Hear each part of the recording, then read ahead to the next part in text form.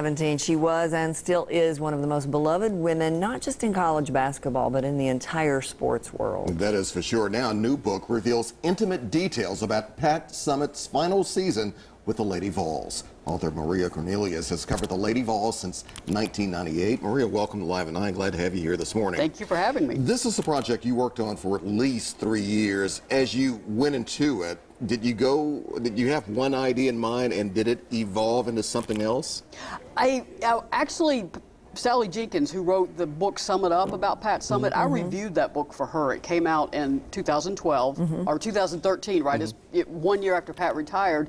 I mentioned in that book that the whole the season was so unusual it probably deserved its own book. Sally had to make a chapter out of it. Right. Sally Jenkins called me and she goes, "I wasn't there. You were. You write it," and that's where a year after the season is, had ended, I thought that is a that is actually what that season deserves.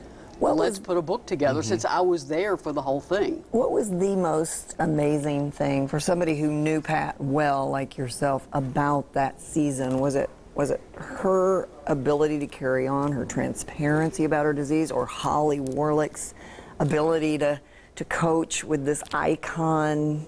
You know, that that's a good parallel because I would say both. One that Pat was willing to be the public face of a horrible disease. Yeah. Most people, you get that diagnosis, you retreat. You get as far out of the public eye as you mm-hmm. can. Pat put it out there. She knew the cameras would be on her all the time. Fortunately, she was still very comfortable with the local media that season, so she would talk to us quite a bit, both on the record and off the record, just talking. For Holly, this is her mentor, her coach, her mother figure.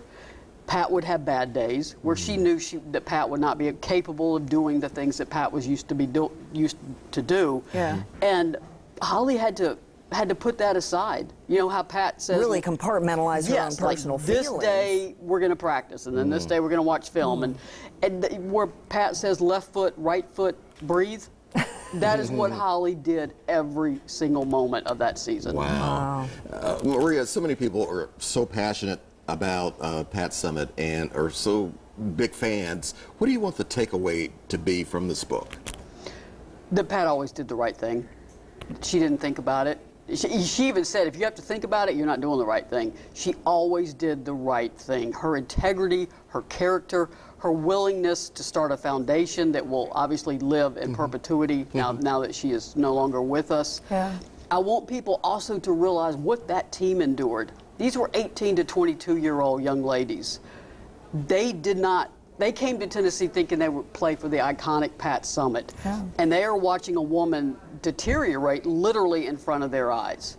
And they still had to put those shoes on, put that uniform on, and go out there and represent the Lady Vols every single day. I came away for everybody I interviewed broke down in tears during the interview. I was I'm talking to them a you know a year right, after the right. season, and they would do fine with the questions, and then you could just hear the emotion come forth.